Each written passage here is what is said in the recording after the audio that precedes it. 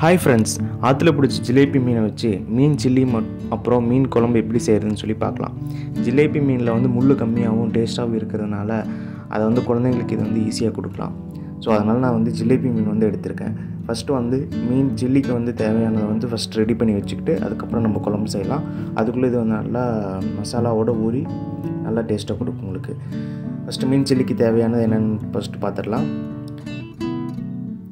Fish fry masala வந்து எடுத்திருக்கேன் நான். ஒரு ஐம்பது கிராம் போட்டிருக்கேன். அது கூட வந்து இஞ்சி பூண்டு பேஸ்ட்டு ஆல்ரெடி அரைச்சி வச்சது தான் அதே நம்ம இது கூட ஆட் பண்ணிக்கலாம்.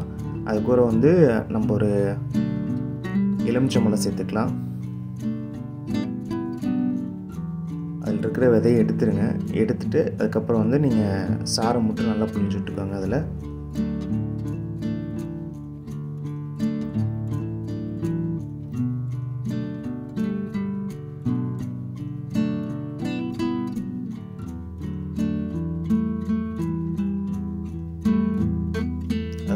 லைட்டாக வந்து நம்ம கடலெண்ணெய் ஊற்றிக்கலாம் கடலெண்ணெய் ஊற்றி நல்லா வந்து மசாலாவை வந்து மிக்ஸ் பண்ணிக்கலாம். ஜஸ்ட் நான் வந்து இதில் மூணே மூணு இன்க்ரீடியன்ஸ் மட்டும் தான் ஆட் பண்ணியிருக்கேன்.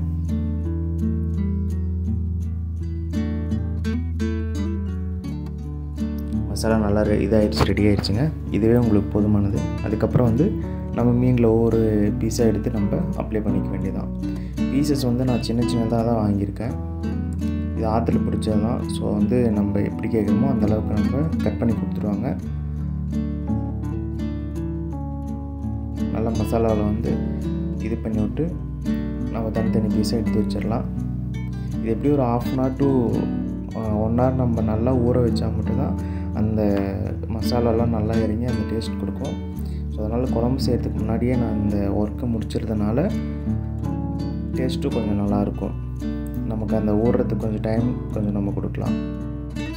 ஸோ இதே இதே மாதிரி எல்லா பீசஸ்க்குமே நம்ம மசாலாவை ஆட் பண்ணிக்கலாங்க.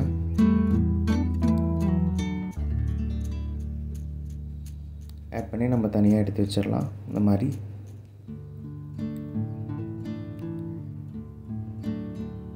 எடுத்து வச்சுட்டு இது நல்லா ஒரு ஒரு half an hour to one hour வந்து விட்டுடலாம். அதுக்குள்ளே நான் வந்து இப்போ மீன் குழம்புக்கு வந்து எப்படி செய்யறதுன்னு சொல்லி நம்ம பார்த்துடலாம் அதுக்கு ஒரு கிலோ இந்த மீன் குழம்புக்கு வந்து ஒரு கிலோ தனியாக கட் பண்ணி வச்சுருக்கு. இந்த மசாலாவில் தக்காளி வெங்காயம் அப்புறம் ஒரு தேங்காய் அது மட்டும் இருக்கும். இஞ்சி கொத்தமல்லி தலை சின்ன வெங்காயம் கருவேப்பிலை அப்புறம் பச்சை மிளகா. வெந்தயம் கொஞ்சமாக எடுத்துக்கலாம் கடுகு கொஞ்சமாக எடுத்துக்கலாங்க. ஃபஸ்ட்டு வந்து வெந்தயத்தையும் கடுகையும் அப்படியே வந்து எண்ணெய் ஊற்றாமல் வெட்டியில் போட்டு ஃபஸ்ட்டு வந்து வறுத்துக்கலாம். வறுத்தா மட்டும் தான் உங்களுக்கு அந்த டேஸ்ட்டே இருக்கும் உங்களுக்கு. அதுலேயே மனம் வரும். லைட்டாக வறுத்ததுக்கப்புறம் நம்ம எண்ணெய் ஊற்றும் போது உங்களுக்கு வந்து கரெக்டாக அது புரிஞ்சிடும். அதுக்கப்புறம் சின்ன வெங்காயம் ஒரு நாலஞ்சு ஆட் பண்ணிக்கலாம். வெங்காயம் நல்லா வதங்கினதுக்கப்புறம் அது கூட வந்து பச்சை மிளகாய் வந்து ஒரு மூணு மூணு முட்டை நான் கட் பண்ணி வச்சுருக்கேன். அதையே அடுப்பில் போட்டுக்கலாம். ரெண்டுமே நல்லா ஃப்ரை ஆகுதுங்க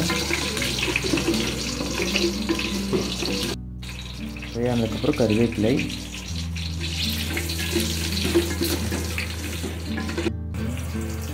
அதுக்கப்புறம் இஞ்சி பூண்டு பேஸ்ட் நம்ம ஆட் பண்ணிக்கலாம்.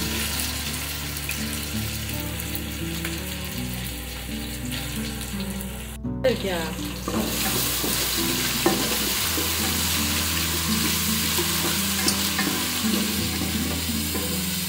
நல்லா ஃப்ரை ஆனதுக்கப்புறம் நம்ம அரைச்சி வச்ச மசாலா அதாவது தேங்காய் தக்காளி அப்புறம் சின்ன வெங்காயம். இது மூணையுமே நம்ம வறுத்து அரைச்சி வச்சுருக்கோம். இந்த இதில் வேறு எந்த இதுவுமே கிடையாதுங்க.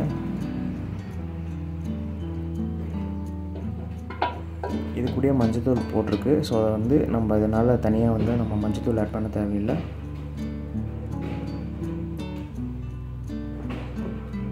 கூட வந்து நம்ம புளியை வந்து நம்ம கரைச்சி வச்சுருக்கோம். நம்ம அதையுமே ஆட் பண்ணிக்கலாம். நமக்கு எப்படி வந்து நமக்கு குழம்பு வேணுமோ அந்த மாதிரி இது பண்ணிக்கலாம். ரொம்ப கிரேவியாக வேணும்னாலும் தண்ணி கம்மியாக இது ஆட் பண்ணிக்கோங்க. இல்லை கொஞ்சம் தண்ணியாக வேணும்னாலும் நம்ம அதுக்கு தகுந்த மாதிரி நம்ம புளி கரைசல் வந்து எப்படி இது பண்ணமோ அது மாதிரி நம்ம ஆட் பண்ணிக்கலாம். அதுக்கப்புறம் தேவையான அளவுக்கு உப்பு கொஞ்சம் சேர்த்து கரெக்டாக இருக்கான்னு சொல்லி நம்ம செக் பண்ணிக்கலாம். இந்த குழம்பு நல்லா கொதிக்கிற வரைக்கும் வெயிட் பண்ணுவாங்க.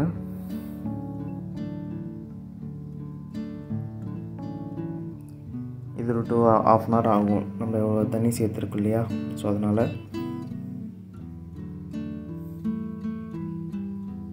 நல்லா கொதிச்சதுக்கப்புறம் தான் நம்ம வந்து மீன் மீன் ஆட் பண்ண போகிறோம் ஸோ அது வரைக்கும் வெயிட் பண்ணுவோங்க.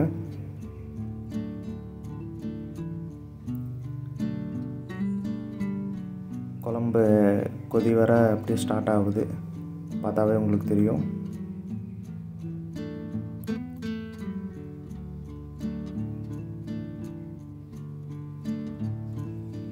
நல்லா கொதிச்சிடுச்சுங்க.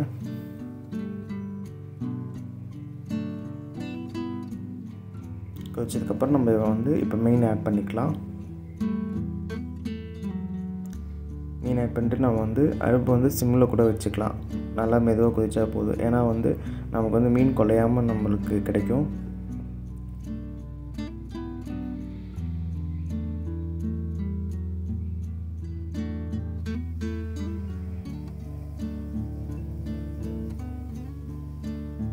ஜஸ்ட் மீன் போட்டு ஒரு பத்து டு பதினஞ்சு நிமிஷம் மெதுவாக கொதிக்கிற மாதிரி நம்ம வச்சுக்கலாம்.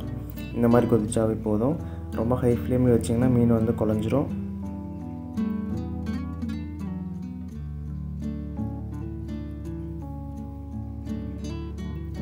பீஸ் எடுத்து நம்ம வெந்துருச்சான்னு பார்த்தோம்னா ஓரளவுக்கு ஆஃப் இதாகி வெந்துருச்சு.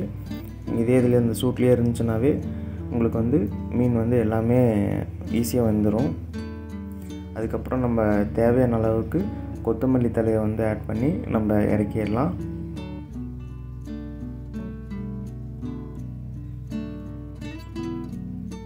சுவையான மீன் குழம்பு ரெடிங்க நம்ம வந்து இப்போ மீன் பொரிச்சிக்கலாம். சைட் பை எண்ணெய் வச்சு.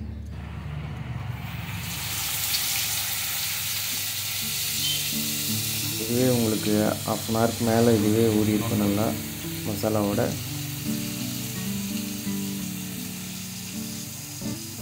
மீன் பொரிச்சு எடுத்ததுக்கப்புறம் உங்களுக்கு வந்து சுவையான மீன் சில்லியும் ரெடி ஆயிடுச்சு.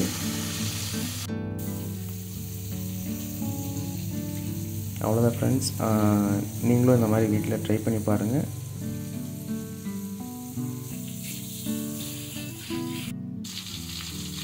சுவையான மீன் சில்லி அப்புறம் மீன் குழம்பு வந்து ரெடி ஆயிடுச்சு. Thank you friends thank you for வாட்சிங் this video thank you to all நம்ம நெக்ஸ்ட் வீடியோவில் ஈஸியான முறையில் வேறு ஏதாவது டிஷ்ஷஸ் செய்கிறத நான் உங்களுக்கு சொல்கிறேன் தேங்க்யூ தேங்க்யூ டு ஆல்